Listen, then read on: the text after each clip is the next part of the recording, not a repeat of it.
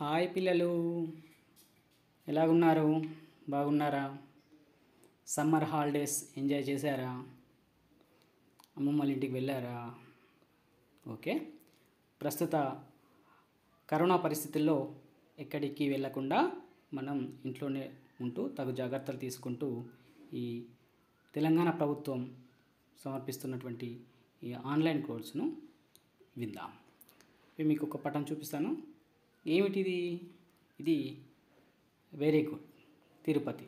Okay మనం ఏడు కొండలు అంటుంటాం కదా మనకు పటంలో ఆ, వెనుక భాగాన కొండలు కూడా అగుపడుతున్నాయి ఇంకొక పటం చూపిస్తాను చూడండి.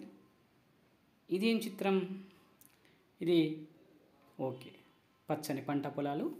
ఎట్లా ఉంది? అత్యంత చదునుగా సారవంతంగా ఉంది. దీన్ని మనం మైదానం అని చెప్పుకోవచ్చు. అంటే మనకు ఈ భూమి ఒక దగ్గర ఎత్తుగాను ఒక దగ్గర సమాంతరంగాను రకరకాలుగా ఉంది. దీన్ని బట్టి భూమిని మూడు ప్రధాన స్వరూపాలుగా విభజించారు. అవి ఏమిటి మరి?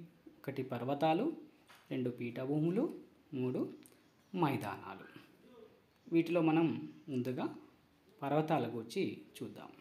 సో ఇది మీకు పటంలో కనపడుతున్నది ఏం పర్వతం? Okay very good. హిమాలయ పర్వతాలు. మంచుచే కప్పబడి ఉన్నాయి కదా? ఓకే మరి పర్వతం అంటే ఏమిటి? అంటే అత్యంత ఎత్తును కలిగి ఉండి మరి వాలును కూడా అధికంగా కలిగి ఉంటుంది కానీ ఉపరితలం మాత్రం సన్నగా కొద్దిగా ఉంటుంది. మరి ఇదే ఎత్తు తొమ్మిది వందల మీటర్ల కంటే తక్కువగా ఉన్నట్లయితే ఆ స్వరూపాన్ని కొండ అంటాం. మన దేశంలో చూసినట్టయితే మీకు మనకు హిమాలయాలు ఆరావళి వింధ్య సాత్పుర పర్వతాలు ముఖ్యమైనవి. మన రాష్ట్రంలో మనకు ఆదిలాబాద్ నిర్మల్ జిల్లాలో సాత్మల కొండలు మహబూబ్నగర్ నాగార్ నాగర్ కర్నూలు జిల్లాలో బాలాఘట్ కొండలు మరియు వికారాబాద్ అనంతగిరి కొండలు జగిత్యాల్లో రాఖీ కొండలు ఉన్నాయి. మనకు తెలంగాణ పటంలో రాఖీ కొండలు మనం గుర్తించవచ్చు. ఇలా పర్వతాలు నివాసయోగ్యం కానప్పటికీ అందంగా ఉంటూ మనకు వర్షాలను ఇస్తాయి మరియు వృక్ష సంపదను కూడా కలిగి ఉంది. ఇవి మనకు ఈ ప్రకృతి రమణీయతను కలిగి ఉంటాయి.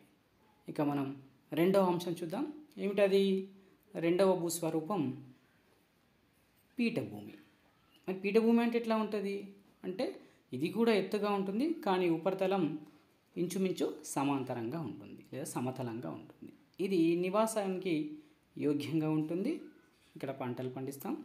మనం ప్రస్తుతం ఉంటున్న తెలంగాణ ప్రాంతం ఈ దక్కన్ పీఠభూమి ఇది దక్కన్ పీఠభూమి పైన ఉంది. ఇక మూడవ భూస్వరూపం ఏమిటి మరి? మైదానాలు. సో మీరు మీ చిత్రంలో చూస్తున్నది కృష్ణా డెల్టా. అంటే మైదానాలు ఎలా ఏర్పడుతున్నాయి? అంటే నదులు తీసుకొచ్చిన ఒండ్రు మట్టి వల్ల అది సమ సారవంతమైన నేలగా మారి మైదానంగా ఏర్పడుతుంది. ఆ మైదానాలు పంటలకు చాలా అనుకూలమైనవి. ఇవి చాలా సంపదను కలిగి ఉంటాయి.